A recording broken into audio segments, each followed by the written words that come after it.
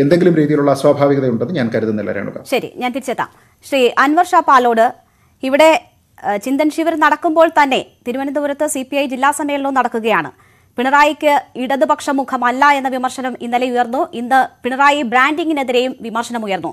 അവിടെയാണ് കെ സുധാകരന്റെ നയരേഖയിലെ വാക്കുകൾ ചേർത്ത് വെക്കേണ്ടത്. ഇടതുപക്ഷ ആശയവും പരിപാടികളുമുള്ള സംഘടനകൾക്ക് ഇന്ന് തീവ്ര വലതുപക്ഷ നയങ്ങൾ പിന്തു- പിന്തുടരുന്ന മുന്നണിയിൽ അധികകാലം നിൽക്കാനാകാത്ത സാഹചര്യമാണ്. സ്വത്വം നഷ്ടപ്പെടുത്തി അധികാരമെന്ന ഒറ്റ അജണ്ടയിൽ തൃപ്തരാകാത്ത ആളുകൾ മുന്നണിയിലുണ്ട്. അവരുടെ അവർക്ക് മുന്നണി വിട്ട് പുറത്തു വരേണ്ടി വരും എന്നതാണ് കെ സുധാകരൻ പറഞ്ഞു വെക്കുന്നത്. അതൊരിക്കലും ഈ വാക്കുകൾ ഒരിക്കലും കേരള കോൺഗ്രസിനെ ലക്ഷ്യമിട്ടല്ലല്ലോ.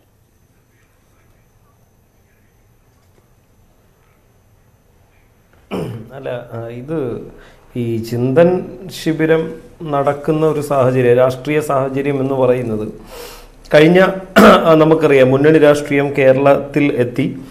കഴിഞ്ഞ നാൽപ്പത് വർഷത്തിന് ശേഷമാണ് എൽ ഡി എഫിന് ഒരു വലിയ മുന്നണിക്ക് പിന്നെയും തുടർച്ചയായിട്ട് അധികാരത്തിൽ വരാൻ കഴിയുന്നതും പൊതുവേ നമ്മുടെ കേരള രാഷ്ട്രീയത്തിൽ കോൺഗ്രസ് അഞ്ചു വർഷം കഴിയുമ്പോൾ യു ഡി എഫ് അഞ്ചു വർഷം കഴിയുമ്പോൾ അല്ലെങ്കിൽ എൽ ഡി എഫ് അഞ്ചു വർഷം കഴിയുമ്പോൾ മാറി മാറി അധികാരത്തിൽ വന്നിരുന്നൊരു സാഹചര്യം ഉണ്ടായിരുന്നു. അപ്പോൾ ആ സാഹചര്യത്തിൽ നിന്ന് കോൺഗ്രസിന്റെ പുനർജീവനം അല്ലെങ്കിൽ യു ഡി എഫ് എന്ന് പറയുന്ന ഒരു മുന്നണി ഈ ശക്തിപ്പെടുക എന്ന ലക്ഷ്യത്തോടു കൂടിയാണല്ലോ ഇവർ ഉദയ്പൂരിന്റെ ഉദയ്പൂരിൽ നടന്നിട്ടുള്ള ചിന്തൻ ശിബിരിന് അതേ മാതൃകയിലാണ് കേരളത്തിൽ നടന്നത്.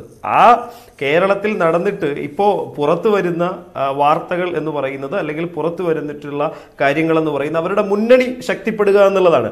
അത് എൽ ഡി എഫിൽ നിന്ന് പല രാഷ്ട്രീയ കക്ഷികളെയാണോ അല്ലെങ്കിൽ ഇനി മറ്റേതെങ്കിലും രാഷ്ട്രീയ കക്ഷികളെ ചേർത്തുകൊണ്ടാണോ ഇവർ സംഘടന അല്ലെങ്കിൽ യു ഡി എഫ് ശക്തിപ്പെടുത്തുക എന്നുള്ളതാണല്ലോ ഇവിടെ വന്നേക്കുന്നത്. അപ്പോൾ അതിൽ രേണുക പറഞ്ഞ സി പി ഐയുടെ ഞാൻ ആ വിഷയത്തിൽ ഞാൻ പ്രതികരിക്കാൻ തയ്യാറല്ല. കാരണം ഞാൻ എനിക്ക് അതുമായി ബന്ധപ്പെട്ട വാർത്ത കൃത്യമായിട്ട് കിട്ടിയിട്ടില്ല. നിങ്ങൾ മാധ്യമങ്ങളാണ് ഈ പറയുന്ന രീതിയിൽ സി പി ഐക്ക് അകത്ത് ഇങ്ങനെ ഒരു വിമർശനം ഉണ്ടായി എന്നുള്ളതിനെ പറ്റി അത് അവരുടേതായിട്ടുള്ള രാഷ്ട്രീയപരമായിട്ടുള്ള ചർച്ചകളാണ്. അതിൽ എന്തൊക്കെ ഉയർന്നു വന്നു ഉയർന്നു വന്നില്ല എന്നുള്ളതിനെ പറ്റി ഔദ്യോഗികമായിട്ടൊന്നും പുറത്തു വന്നിട്ടില്ല. ഇവിടെ നമ്മൾ മനസ്സിലാക്കേണ്ട ഒരു കാര്യം ഇവിടെ കെ പി സി. അവതരിപ്പിച്ചിട്ടുള്ള അവരുടെ അവസാന ഘട്ടത്തിൽ അവതരിപ്പിച്ചു അല്ല അല്ല ഈ പൊതു നിങ്ങൾക്ക് മാത്രമായിട്ട് കിട്ടിയ കാര്യങ്ങളെ പറ്റി ഇപ്പോൾ ഞങ്ങൾ മറുപടി പറയണമെന്ന് പറഞ്ഞു കഴിഞ്ഞാൽ വലിയ ബുദ്ധിമുട്ടാണ്.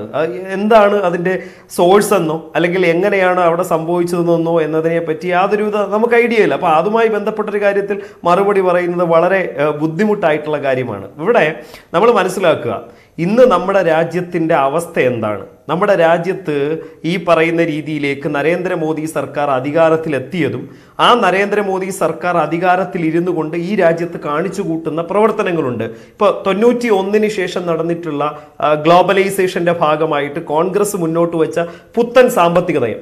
ആ പുത്തൻ സാമ്പത്തിക നയത്തെ തുടർന്ന് നമ്മുടെ ഈ രാജ്യത്തെ സ്ഥാപനങ്ങൾ അതോടൊപ്പം തന്നെ ഈ രാജ്യത്തിന്റെ എക്കണോമിക് പോളിസി എങ്ങനെയാണ്? ഇതിനെ പറ്റിയുള്ള യാതൊരുവിധ രീതിയിലുള്ള ചർച്ചയും നടന്നിട്ടില്ല. ഇവർ ഇന്ദിരാഗാന്ധിയുടെയും അതോടൊപ്പം തന്നെ തൊള്ളായിരത്തി അറുപത്തൊമ്പതിൽ ബാങ്ക് ദേശസാൽക്കരണവുമായി ബന്ധപ്പെട്ട കാര്യങ്ങളെ പറ്റിയൊക്കെ പറഞ്ഞെങ്കിലും ഇപ്പോൾ കിഫ്ബിയെ പറ്റി ഇവർ മുന്നോട്ട് വെച്ചിട്ടുള്ള വിമർശനം അതായത് കിഫ്ബി വളരെ പ്രശ്നമാണ്. എങ്ങനെ? ഇവരുടെ കോൺഗ്രസിന്റെ എം എൽ എമാർ ഈ പറയുന്ന രീതിയിൽ എന്താണ് കിഫ്ബിയുടെ ഫണ്ടും മേടിച്ച് അവരുടെ മണ്ഡലങ്ങളിൽ റോഡുകളും അതോടൊപ്പം തന്നെ സ്കൂളുകളും എല്ലാം ഈ പറയുന്ന കിഫ്ബി വഴിയുള്ള വികസനത്തിന്റെ ഭാഗമായിട്ട് നടന്നിട്ട് കിഫ്ബിയെ ഇവർ വലിയ രീതിയിൽ വിമർശിക്കുകയാണ്. അതോടൊപ്പം തന്നെ ഇവർ മുന്നോട്ട് വെച്ച കേരളത്തിന്റെ പൊതുകടത്തെ പറ്റി ഇന്ന് ഇവരുടെ ഈ നയരേഖയിൽ ഉണ്ടായിരുന്നല്ലോ. ഇന്ത്യയിൽ കോൺഗ്രസ് ഭരിക്കുന്ന രാജസ്ഥാന്റെ അവസ്ഥ എന്താ?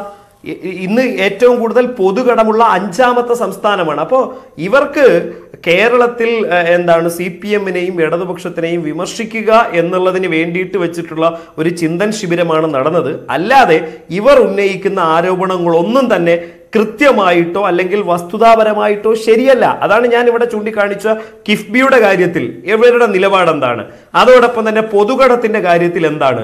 കേന്ദ്രത്തിൽ ഈ പറയുന്ന എക്കണോമിക് പോളിസി ഇവരെടുത്ത എക്കണോമിക് പോളിസിയുടെ ഭാഗമായിട്ടാണ് ഇന്ന് ഈ രാജ്യത്ത് അനുഭവിച്ചുകൊണ്ടിരിക്കുന്നത്. ഈ രാജ്യത്തെ ജനങ്ങൾ ഈ രാജ്യത്ത് പൊതുമേഖലാ സ്ഥാപനങ്ങളെ വിറ്റഴിക്കുന്നതിന്റെ പ്രധാനപ്പെട്ട റീസൺ എന്ന് പറയുന്നത് തൊണ്ണൂറ്റിയൊന്നിലെ എക്കണോമിക് പോളിസിയാണ് ഡിസ്ഇൻവെസ്റ്റ്മെന്റ് ആണ്. അത് ഇവർ മനസ്സിലാക്കണം. ഇവരല്ലാതെ സി പി എമ്മിനെ വിമർശിക്കാനായിട്ട് ഇവരുടെ നമുക്കറിയാലോ കെ പി സി സി പ്രസിഡന്റിന്റെ നിലപാട് എന്താണ് ഇവർ ബി ജെ പിയെ കാണുന്നത് പോലെ തന്നെയാണ് സി പി എമ്മിനെയും കാണുന്നത്. അങ്ങനെയെങ്കിൽ ഈ കഴിഞ്ഞ ഇന്ത്യൻ രാഷ്ട്രപതി എന്നാണ് പറയുന്നത്. ഈ ഉപരാഷ്ട്രപതി അല്ല അതെ അതെ അതാ പറഞ്ഞത്. അങ്ങനെയെങ്കിൽ ഇവരുടെ ദേശീയ നേതൃത്വം എന്തുകൊണ്ട് രാഷ്ട്രപതി തെരഞ്ഞെടുപ്പിൽ ഒരുമിച്ച് പ്രവർത്തിക്കാനുള്ള തയ്യാറെടുപ്പ് നടത്തി? അതോടൊപ്പം തന്നെ ഉപരാഷ്ട്രപതി തെരഞ്ഞെടുപ്പിൽ എന്തുകൊണ്ട്? അപ്പോ നമ്മുടെ രാജ്യത്തിന്റെ രാഷ്ട്രീയ സാഹചര്യം അനുസരിച്ചിട്ടുള്ള നയമായിരിക്കണം സ്വീകരിക്കേണ്ടത്. ഇത് അങ്ങനെ തലത്തിൽ ബി ജെ പി തന്നെയാണ് മുഖ്യ മുഖ്യശത്രു എന്ന് കെ സുധാകരൻ ഇന്ന് വ്യക്തമാക്കുകയുണ്ടായല്ലോ. അത് കേന്ദ്ര സർക്കാരിനെതിരെയും അതിരൂക്ഷ വിമർശനങ്ങളാണ് ഈ നയരേഖയിൽ ഉള്ളത്. അക്കാര്യങ്ങൾ കൂടി വിശദീകരിച്ചുകൊണ്ട് തന്നെയാണ് അവരുടെ നയം അവർ പ്രഖ്യാപിക്കുന്നത്. ഞാൻ തിരിച്ചെത്താം. ശ്രീ എൻ ശ്രീകുമാർ. മുന്നണി വിപുലീകരണം എന്ന് പറയുമ്പോൾ ഇപ്പോൾ മുന്നണിയിലുള്ളവർ ഒക്കെ